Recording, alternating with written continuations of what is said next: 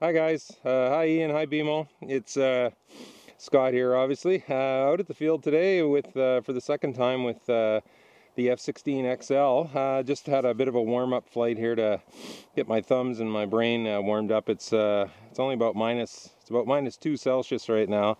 the frost is just gone because of the snow there, but luckily I've got a fire going well, I can't see the smoke now because the fire's nice and hot, but we've got a wood stove in that clubhouse over there so I can go in and warm up. So uh, anyway, I, was hoping to get some uh, flight video today and uh, keep it out of the sun, but before I do that, I just wanted to uh, kind of show you uh, uh, what my throws look like. So I think I already wrote and told you.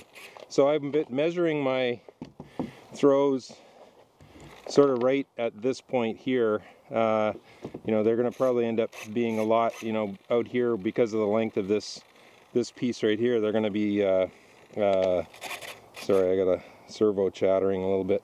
Um, they're going to be a lot more, so that would be sort of false uh, false travel, I think, just because you've got that big long lever. So I'm about an inch, about an inch there, I think, and very small in the uh, in the roll, as I mentioned. Uh, I think I'm about 3 eighths. And uh, there's my rudder. So you can see uh, a little bit there. If I was to do it again, I'd put uh, some some reinforcement, and I may still do that anyway. Um, I can use some of this uh, fiberglass uh, drywall tape and some foam cure and just sort of do like a poor man's fiberglass there because you can see, whoops, that vertical stab does flex quite a bit. Of course, I've got a you know a pretty massive uh, rudder there that I'm playing with. So I haven't um, I haven't done anything with the KFs today. Although as we go through the day, uh, I'm gonna probably trim them to at least the 50% here and uh, see how that uh, affects the uh, performance and the speed. Um, I did put a um, uh, a 2212.6 2700 uh, kV motor in it, which is you know Focal Price Deal Extreme. Although Focal Price has been out of them for like a year, uh, so it's a little bit peppier than the motor I first flew it with in all those test flights that I did. Uh, it's a 6x3 EMP prop, so it's a lot. Uh, it uh, spools up a, a little bit quicker. So again, there's my there's my battery bay, electronics bay. Uh, batteries pretty much all towards the front. I'll be interested to see as I uh, trim some off of the KF how that affects the CG. I'm assuming it'll probably, from my experience with the MiG-35, uh, it'll probably uh, slide the CG back uh, even a little bit further. So uh, anyway, I'll experiment with that a little bit today and, and see how we go. Um, so anyway, let's let's toss her in the air here and and see how we uh, we make out. So we get up, left, right, left, right. That's good. And the motor spins. That's always a good thing. All right, so I'm going to kind of walk out towards more towards the middle of the field and try and keep my flying sort of in this area here to to stay out of the sun, both for for me and for you. Um, so here we go. So launch is very, uh, very stable because it's well balanced. Obviously a little bit of torque roll there. Um, so I normally get up to about, I, I normally cruise around probably at about 60% throttle. Nice smooth loop there. That was only about uh, half deflection with those throws that I have. So I'll just show you, that's what a loop looks like, full deflection. Now what I really like about this plane uh, lots of park jets because they have uh, oversized control surfaces, elevons, is when you do that and you come out of the bottom of the loop, it sort of parks itself because those uh, elevons now turn into speed brakes. So there's, there's a couple of rolls with the full stick and I'm about half stick there for a more scale roll. So let me do a more scale loop here in front of me. So I'm barely, I don't know, maybe a third to half stick there to get a nice smooth loop.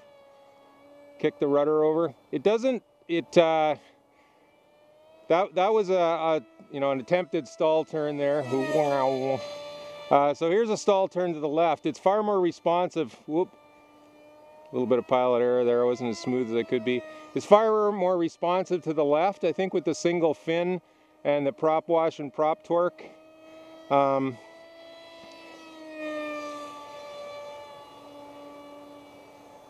yeah, so it kicks nice on the towards the left here. So let's line her up and and uh,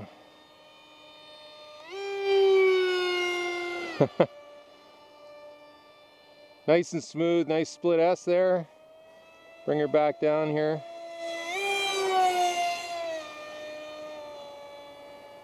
So it's pretty, uh, you know, it's pretty quick. I'm, I'm amazed at the, um,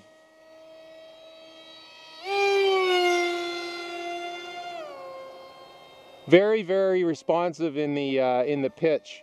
Um, so there you go, like that's a 90 degree. I, I just kind of, uh, you know, slam the stick back all the way back and then let it go. So, you know, if I, if I need to uh, really get it myself out of trouble, there's, you know, instant, instant pitch response. Um, the one thing when I was doing those rolls I wanted to mention, I was actually quite pleasantly surprised how responsive it is in the roll for sort of a delta wing.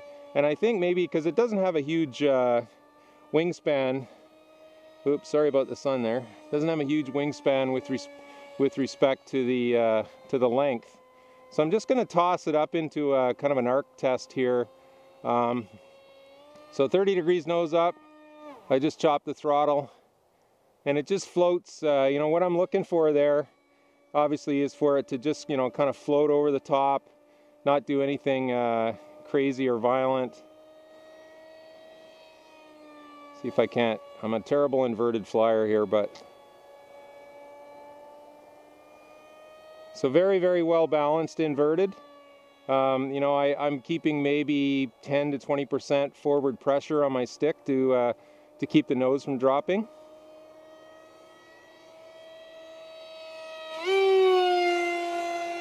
Little victory roll. I know it's probably hard to see against this blue sky with that white uh, paint scheme as I zip out of there, but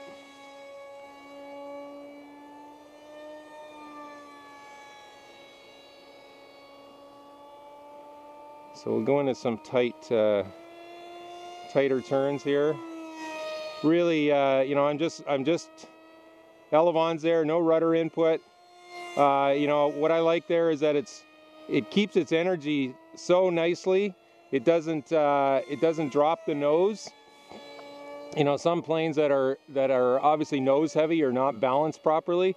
Uh, I find, you know, if I go into a, into a, you know, a nice tight uh, turn, that you know the nose will drop or the plane will start to lose its energy. Okay, so I just had my landing beeper go off here, so let's, we got to do one more high speed. high speed pass. Okay, so on landing I find it so beautifully balanced. I'll just bring it in here. So I'm about six feet in the air there. Chop the power. Just has a beautiful sink rate. Um, you know, naturally I just input a little bit of up elevator there at the at the very end to just kind of hold it off. But you know, it uh, I'm really impressed with how beautifully uh, beautifully balanced it is there. So uh, awesome job, uh, guys! Uh, really, really impressed. It's a very, uh, you know, obviously a very unique um, airplane.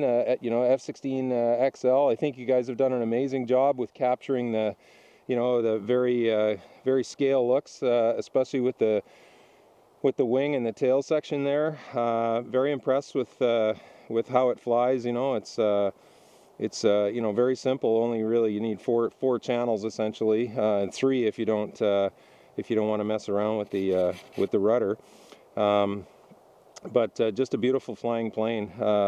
just honored that you guys asked me to fly it and uh, test it for you. So again, uh, I'll uh, I'll play around some more. I wanted to get some video shot now.